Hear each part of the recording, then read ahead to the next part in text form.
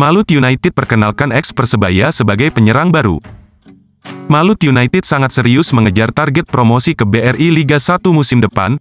Tim berjulukan Laskar Kier Raha itu terus mendatangkan pemain baru pada bursa transfer paruh musim Liga 2 2023-2024. Terbaru, Malut United kedatangan sosok Jose Wilson, penyerang asal Brasil itu akan menjadi andalan baru di lini depan Malut musim ini.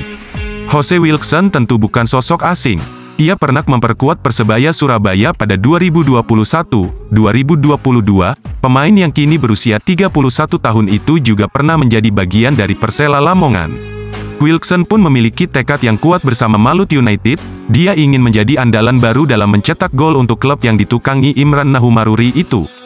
Gol menjadi hal yang sangat penting bagi saya sebagai seorang striker, saya sadar betul apa yang tim butuhkan, kata Wilson, Sabtu, tanggal 4 November tahun 2023. Yahya Al-Katiri sebut Persebaya segera umumkan pemain barunya.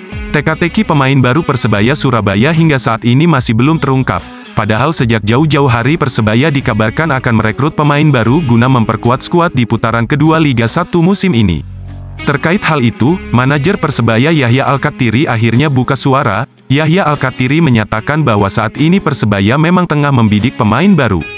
Meski demikian, Yahya Al-Katiri tidak mengungkap siapa sosok pemain baru yang tengah diincar tersebut, dia hanya mengungkap bahwa pemain baru bidikan Persebaya itu akan segera diumumkan lewat rilis resmi klub.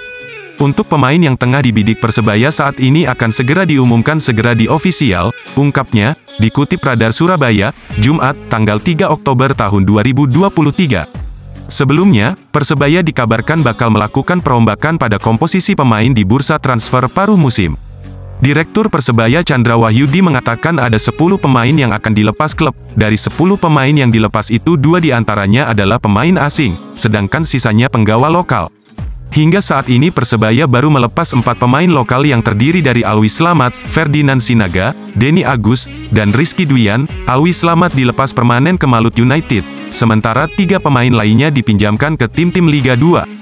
Sedangkan untuk dua pemain asing yang akan dilepas adalah Paulo Victor dan Zivalente, keduanya kini tengah dicarikan klub baru oleh manajemen Persebaya.